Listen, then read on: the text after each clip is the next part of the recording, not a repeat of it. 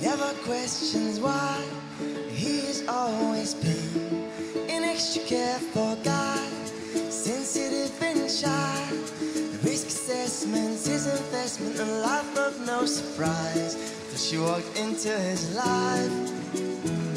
She spontaneous indeed, uncertainties a creed. She has always been neither black or white, just a curious delight.